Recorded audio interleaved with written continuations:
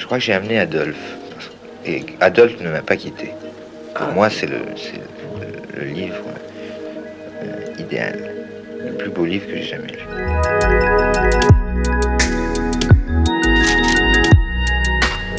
Moi, je, je trouve qu'Adolphe est, est- est un personnage qu'on rencontre très couramment aujourd'hui. Actuellement, certainement. Ouais. Et puis, peut-être me, me trompais-je, mais je trouve le style d'une pureté absolue. Exactement. C'est un, un style qui est absent, mais qui est de la perfection de l'absence. Oui.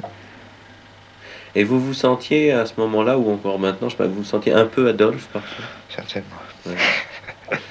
Il y a cette espèce de... Je suis Adolphe. Vous vous sentez tout à fait Adolphe, ouais, ouais. Enfin, je suis de... Mais je crois qu'on est tous un peu Adolphe, hein, parce que... Ah, ça, je ne m'intéresse pas.